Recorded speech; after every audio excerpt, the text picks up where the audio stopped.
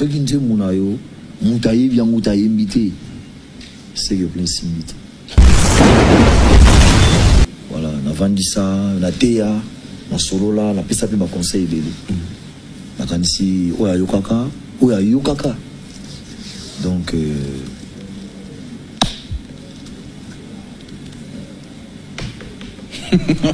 Werrason Diama, le roi de la forêt. en tout cas. Bienvenue na émission na biso Libre Pensée na chaîne na biso Trace Info Monde TV. Bienvenue, je suis votre serviteur Lisa Kaloumé LK. ka nde tozalaki ka nde tozalaka bosabone massivement ekosala bino bien mpo babiloko ya bien ezalaka kaka na esika oyo na trace info monde tv bonsoir à tous bato nyonso bolandaka info monde tv ya Edo Flash TV, toujours la police de la presse. Donc, ce cahier, ayaka toujours dans ma Soki nzembo na yo moto ayebi yango te ayembi te seke kuna esimbi te limbaka ma ndenge ya ndenge nakoso te awili doyo moko otali kaka nduli ya technique mm. nakoso te wana ekoso beta omoni na minute oyo mm. naza un peu faible c'est-à-dire mampeke eza kokita mpo nazomona événement nakosala na grave bo ata oyo nakosala na nga basade mm. eza bule nazobule mais kobulu dela wana eza nango na motu nakosi elongo ya grave mais nakosalela yango na occasion occasion nini oyo rason yebisa biso nano après sorti album na yo lelo na ntongo mm. euh, vraiment ozalaki na okenda kosoutenir mwana na yo ah, ouais, ouais.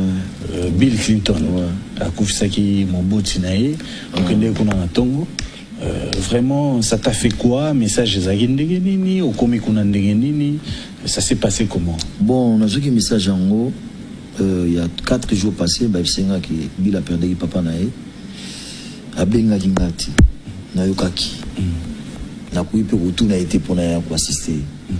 tu vois esa matanga fo babenga yo mpo koasiste batindeli invitation ya matanga na yebi te ya suza na mbokani atalekaki bon baza bapicho ya biso tofanda na bango mm. bien ke azosala vie na ye aza poli bon Nakende kaka nake ko assiste ye. Akamwe ntango amoni nga mpe na ye azoyemba na encourage wana bi courage bon papa akei comme eza te biso ozali toza en famille ayembi eza na courage mais azalaki mpe touché quoi tu vois ndenge apere de papa na ye mpe ntango amoni nga mpe susu wana après beaucoup d'années que makambo ndenge wana esema tolandaka meme image na batelespectateur bamona euh, ndenge nini ozalaki wana oassiste bill clinton aza na moko ya baartiste na yo oyo ogarda babon souvenir na ye oui bill clinton aza artiste confirmé hein?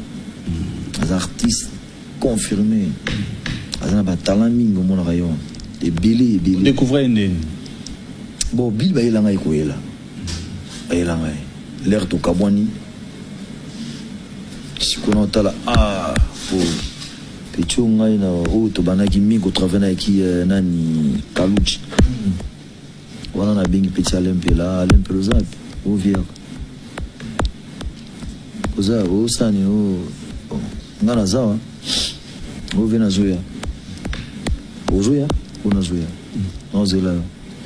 ande akendaki eh. comprendre hmm. bon nazala na bango bien hmm. très bien mpe la bon ata ti mais moka amonaka vie boni ça va hmm.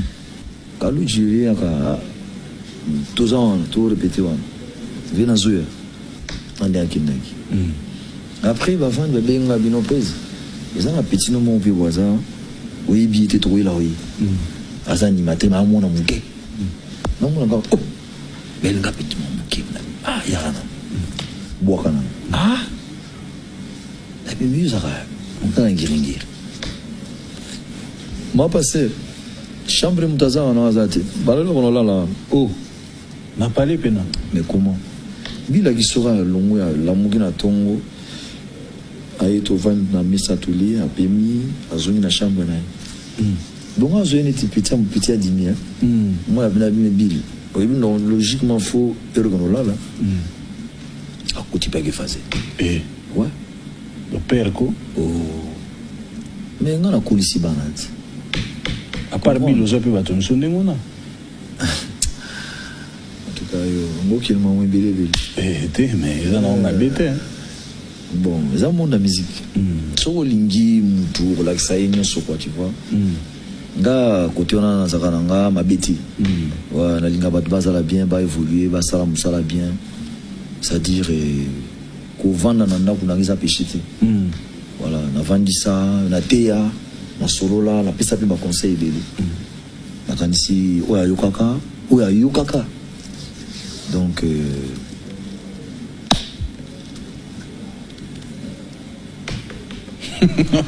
oui, Rasson Guillaume, le roi de la forêt. en tout cas. eza nango te obligé il faut mise fo olongwa kaka par exemple olongwe mpo osali boye bobo non non non mm. tu vois oui.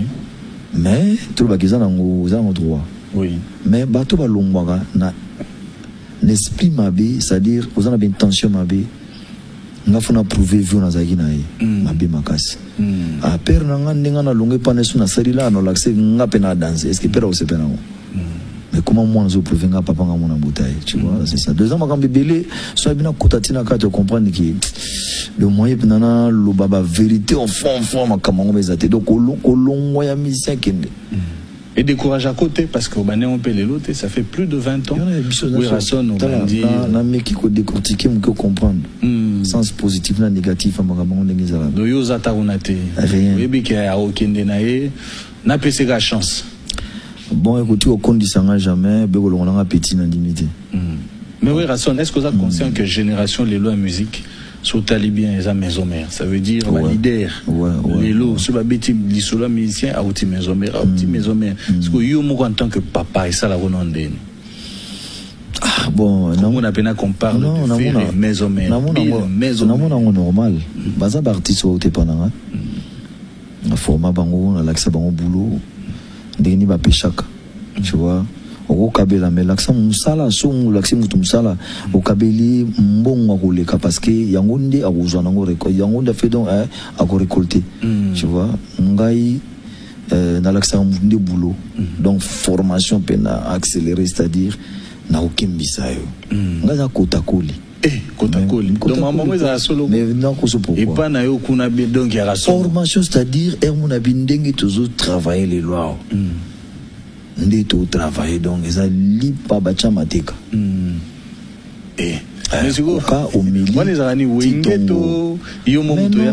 omiliomiziki akalaki compliqué eh. hmm. bino bozobima nano fo bokita nano moke oyo nga visionnaire natindelaki déjà ndulu tozobeta na mona ngo clair te mm.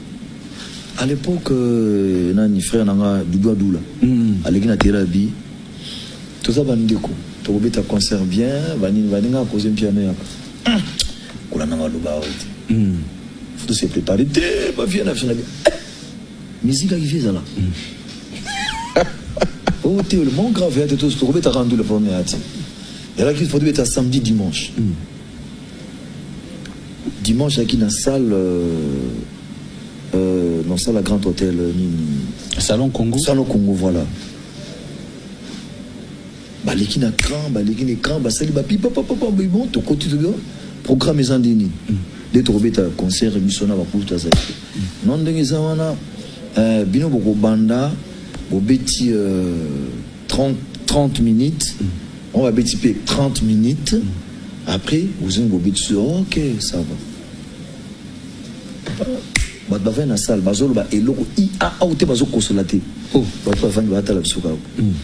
tokota première chanson deuxième chanson trois ata te oh. bon sikoyo zaiko ekota eh. tovanda bombali bosango na président josar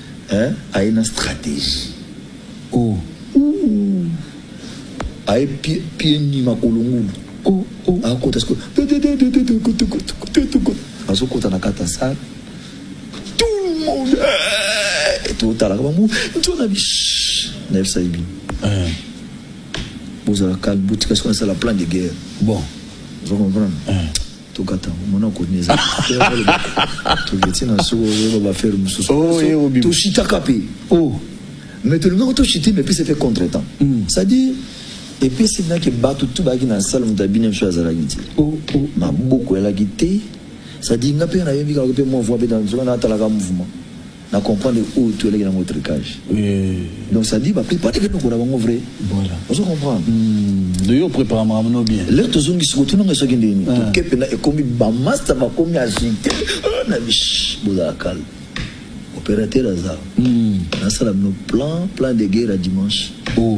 boyekonga na koyebisa bino hmm. calme ekoti na zamba Nabi bon tokosala nde concert ya lelo eza concert ya libanda tobeta siko na parking voilà basinga ebeti tous les fans telema do na minute ofo ozala na parking hmm. bato lise en mot don oya kotikala bato be bon boyebi loko tosala oyo te hmm. tobeta bateni ya basoda oh. bateni ya dsp eh. bateni ya dsp bima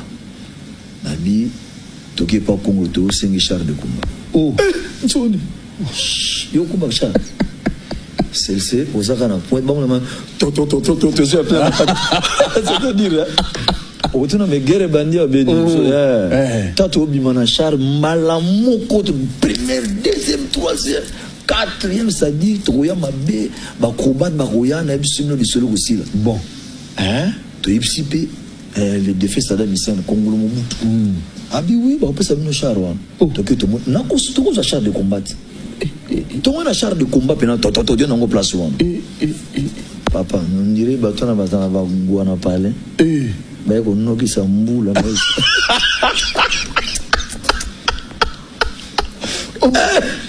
wili oka mvula nano mona mvula te ke deborde mvula deborde siko salon congo c'est un mai koke donc c'est à dire omoni ntina na kati na nini na parking parking te na kati na kati hotel hmm. c'est à dire mai deborde kota na kati mai ya faux septique ezobima kozomona yango mpe ezoleka na boye eh, kanga babime mbula boye euti wapi nzokabi Ah, bah, très bantente. Bon. Vas-y. soki jour wana toyaka okoka lisolo mais ebetama mpe te ebetama ndeni mvula ebandi okondimaki mvula ebeti ebandaki heure euh, nini na 16 heures hmm. ti lobi na ti lobi na 6 heures ah, ah, ah, ah, ah. mwana mwana mvula nde wana te lobatrika bino eh.